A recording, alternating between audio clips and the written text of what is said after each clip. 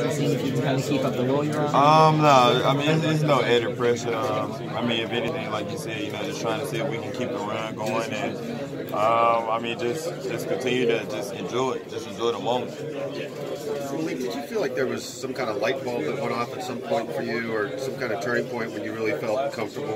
Um, no, it was it was a process. Um, you know, it was just, just me finding myself and doing a lot of soul searching. Did you, by soul searching, you mean were you really doubting yourself for, for a long time? No, period? no, never doubt myself. I mean, just just trying to trying to find, you know, the, the person that I knew I was, trying to find out what he was.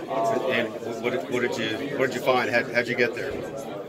Uh, I mean, just keep believing. Um, I mean, a lot of reps in the gym, and um, I mean, just just continue to have um, a high spirit. And Malik, describe also how Coach Self worked with you to, to, to help you get there. What, He just kept believing in me. Uh, you know, he, he never, you know, uh, doubted me at one point. Uh, he just kept believing in me, kept telling me uh, how good of a player that I was, and, and just telling me what he needed me to do for the team to be great.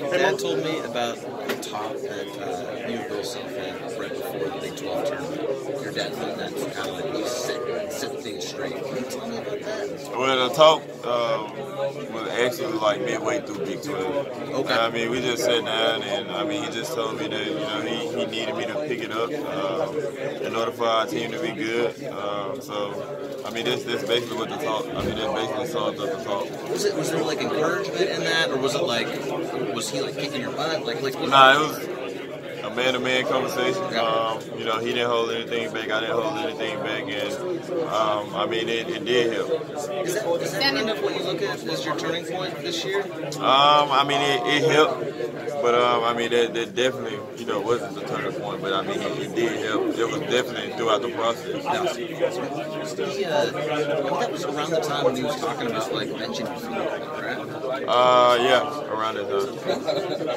How did you emotionally take that, just even that, that the discussion of maybe being someone of your talent and your abilities? Uh, I deserved it. Uh, I mean, if, if you was if you was watching us play, um, I definitely wasn't uh, providing enough for the team. Um, I mean, other guys was, was probably you know providing more than I was providing at the time. So I mean, I definitely deserved it. Is it a confidence thing?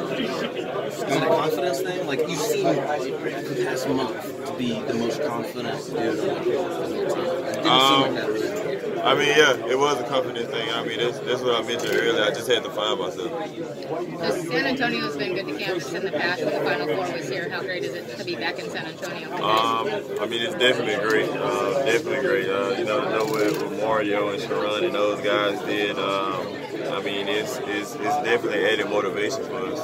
So if it